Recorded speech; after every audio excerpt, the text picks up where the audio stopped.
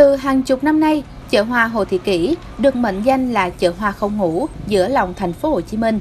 Bởi dù ngày hay đêm thì nơi đây vẫn tấp nập người mua bán.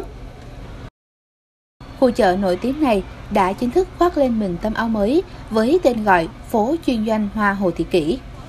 Tuy có chút tiếc nuối với hình ảnh chợ hoa trước đây, nhưng hầu hết các tiểu thương và người dân đều rất phấn khởi.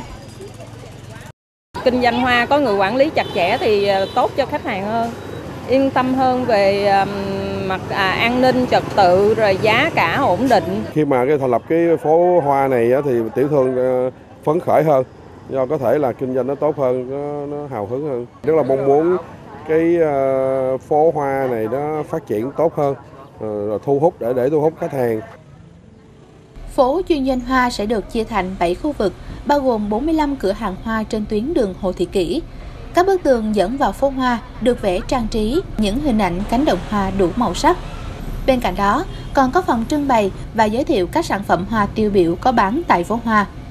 Mục đích của quận cũng như là của phường là nhằm chỉnh trang sắp xếp nơi đây thành phố chuyên doanh hoa à, và ẩm thực khu vực Hồ Thị Kỷ à, nhằm tạo điều kiện à, cho các hộ kinh doanh hoa à, trên địa bàn phường à, có một cái à, điều kiện để phát triển ổn định và bền vững. À, song song đó thì cũng là tạo cảnh quan, điểm nhấn riêng của khu vực tạo điều kiện để mà đưa cái à, phát triển cái ngành du lịch, à, các cái ngành dịch vụ chất lượng cao, ngành du lịch tại địa phương. Theo ban quản lý phố Hoa, từ nay đến năm 2020, phố Hoa sẽ tiếp tục được đầu tư xây dựng để trở thành phố hoa chuyên doanh và ẩm thực Hồ tỷ Kỷ. Trong tương lai, hứa hẹn chợ hoa sẽ trở thành một địa điểm du lịch mang đậm dấu ấn về văn hóa và ẩm thực của thành phố Hồ Chí Minh.